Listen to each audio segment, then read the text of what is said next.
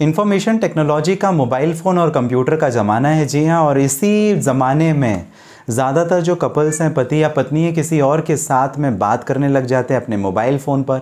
Facebook के माध्यम से व्हाट्सअप के माध्यम से अलग अलग तरीक़ों से अपने पति या पत्नी को छोड़कर किसी और से अगर बातचीत होनी शुरू हो जाए तो क्या आप इसे एक्स्ट्रा मैरिटल अफेयर में कंसीडर करेंगे या अडल्ट्री में कंसीडर करेंगे या नहीं? इस प्रश्न के लिए आपने बहुत सारे कमेंट मेंशन किए और इसका जवाब आपको इस वीडियो में देने की रहेगी मेरी कोशिश। चलिए बात करते हैं इस विशेष मुद्दे पर। आपका स्वागत है लीगल एडवाइस में। आपने शुरुआत अशोक पांडे के साथ में की है। नए हैं सब्सक्राइब ज़रूर कर लें।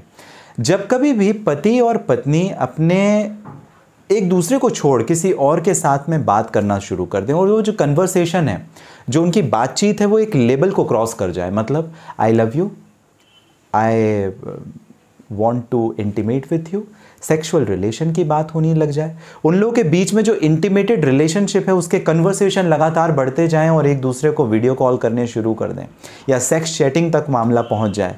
तो क्या ये अडल्ट्री में कंसीडर होगा या नहीं? कानूनी तौर पर नहीं। लेकिन ये फिर भी एक आधार बना देता है, जिसमें पति या पत्नी के पास अगर ऐसे एविडेंस हैं कि उसका पति या पत्नी इस तरीके के एक्टिविटी में इन्वॉल्व है, जहाँ वो किसी और महिला या पुरुष के साथ में बात कर रहा है और जो कन्वर्सेशन है वो सेक्सुअल है। तो इस कंडीशन पर वो तलाक के लिए जा सकता है, लेकिन अडल्ट्री का ग्राउंड नहीं बनेगा।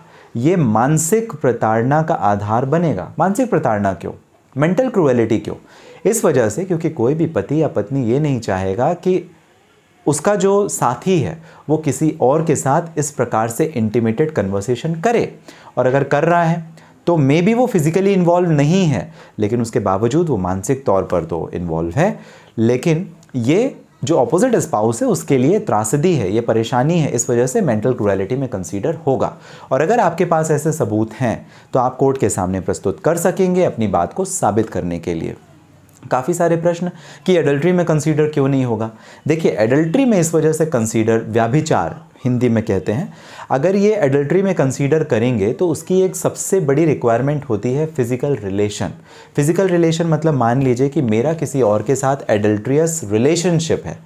व्यभिचार का संबंध है।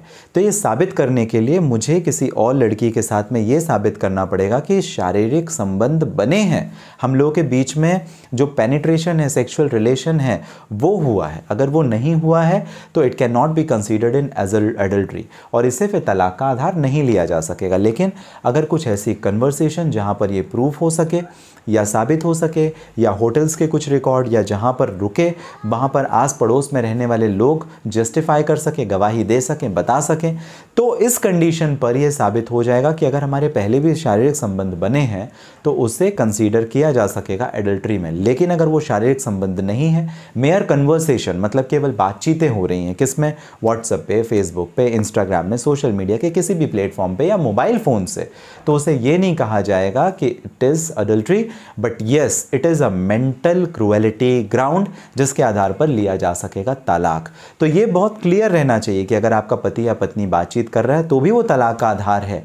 आप अगर प्रोसीड करना चाहें तो आप कर सकते हैं, लेकिन वो आपका मेंटल क्रुएलिटी में आएगा, मानसिक प्रताड़ना में आएगा, ना कि अडल्ट्री व्यभिचार के आधार बनेंगे आपके तलाक के। इस बात को आपको ध्यान रखना पड़ेगा, क्योंकि उनके बीच में शारीरिक संबंध नहीं बने। और अगर आप जस्टिफाई कर सकें कि उनके बीच शारीरिक संबंध बने हैं तो definitely it is to be considered as adultery जब आप कोर्ट में साबित करेंगे। आपको जानकारी कैसी लगी, मुझे ज़रूर कमेंट बॉक्स में मेंशन कीजिएगा। साथ ही किसी परेशानी के लिए अगर करना चाहें बात, इस वीडियो के डिस्क्रिप्शन में डिटेल लिंक है, जहाँ से डायरेक्ट अपॉइंटमेंट बुक करके आपकी और हमारी हो जाएगी बात। मिलेंगे अगले वीडियो में, तब तक के लिए स्वस्थ और सुरक्षित रहें।